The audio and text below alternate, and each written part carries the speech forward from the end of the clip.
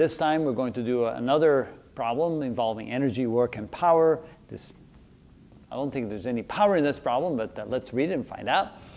Uh, we have a 10 kilogram block which is dropped from a height of 20 meters onto a spring with a spring constant of 2,500 newtons per meter.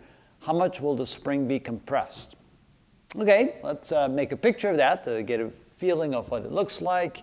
So we have a block. Mass is equal to 10 kilograms. We drop it from a certain height onto a spring. Here's the spring. So the block will hit the spring, and then the spring will be compressed a distance until the block rests, comes to rest momentarily at some distance like this, where x is equal to the amount that the spring is being compressed. Uh, when the block hits the spring, it will have fallen a distance of 20 meters. So this distance right here to the top of the spring, uh, that would be h equals 20 meters. And then notice that the, that the block will drop down an additional distance of x until the spring is compressed. And then you say to yourself, well, how do we solve a problem like this? And again, I always like to go to the equation where we write work put into the system plus the initial potential energy plus the initial kinetic energy is equal to the final potential energy plus the final kinetic energy plus any heat lost in the process. Well, in this particular case, we're not putting any work into the system, so that can go to zero. And here, it doesn't look like we have any friction or anything we have to worry about, so there's no heat loss. Also notice that since we dropped the block from rest, there's no movement, therefore there's no kinetic energy. So that goes to zero. And at the very end, when the block comes to rest at the very bottom, it's again not moving, so there's no kinetic energy here, which means the whole equation simply comes down to whatever initial potential energy you had before you started equals the potential energy of the system after the problem is over. All right, now, since the initial potential energy is due to the height that the object has, we have to have some reference height. And I'm going to call the very final position of the block h equals 0. That is the, or I shouldn't call it h because we don't want to confuse it with that, but let's call it just big H. Big H equals 0. That's my reference position for my problem. So the block starts from a height of 20 meters, h, plus the distance x above that reference point. So we say then that the initial potential energy is mg h plus x, the two combined. So that's the total height from which the block is dropped relative to where it's finally going to end up at the very end of the problem. The potential energy final, that's the all the energy that's stored in the spring when the spring is compressed, and for that we need the equation 1 half kx squared. That's the energy, the potential energy that the system has, and it's all stored in the compressed spring at the end of the problem. All right, what are we looking for? We're looking for x, so the unknown is right here and right there. So I have to solve this equation for x to find the answers to the problem. To do that, I have to multiply the left side, get rid of parentheses, so I can write mgh plus mgx equals 1 half kx squared. Now notice that looks an awful lot like a quadratic equation. We have an x squared term, an x to the first term, and a constant with no x. That means I want to move everything over to one side and set equal to 0. So I can say 0 equals 1 half kx squared minus mgx minus mgh.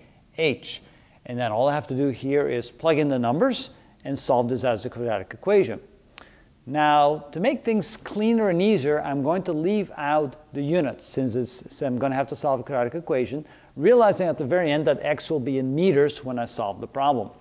So, 0 equals 1 half times k, which is 2500, times x squared, minus the mass, which is 10, times g, which is 9.8, times x, which is what I'm looking for, minus 10 times 9.8 times, I believe it's 20, right? That's right. Height is 20. 20 right there.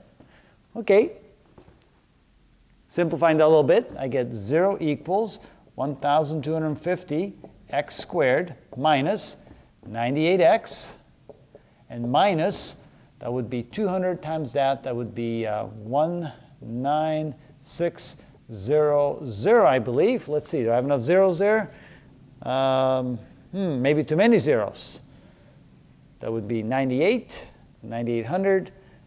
That would be 1960. One too many zeros. All right, there's my quadratic equation. Now I'm going to need a calculator to figure that out.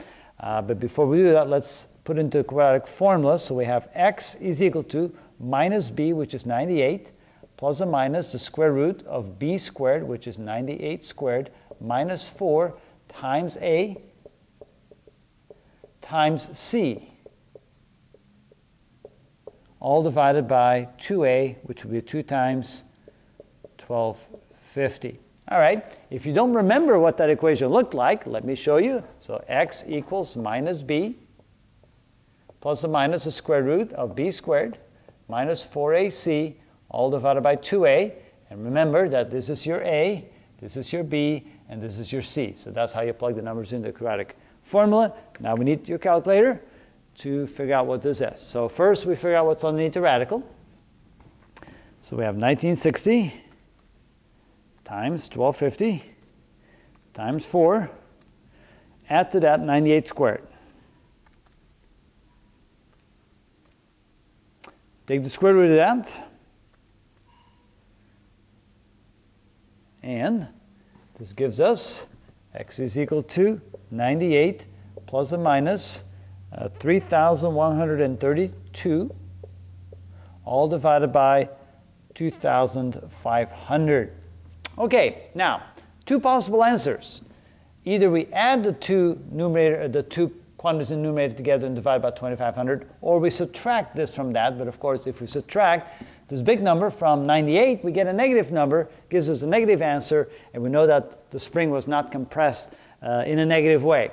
So that means uh, the negative is not a solution. We're going to only ask, uh, solve the positive solution. And so we get uh, 3132 plus 98 divided by 2,500, and we get 1.29 meters. So this gives us the amount the spring was compressed from rest after the block hits the spring. And so we can say then that the total distance the block drops is the 20 meters plus the 1.29 meters before the spring comes to rest. And that's the answer to this problem. So it looked like a simple, easy problem, but it turns out we end up with something that we have to recognize is a quadratic equation, and then we need to use the quadratic formula to solve that equation. All right, there's a good example. Let me try to come up with some other good ones.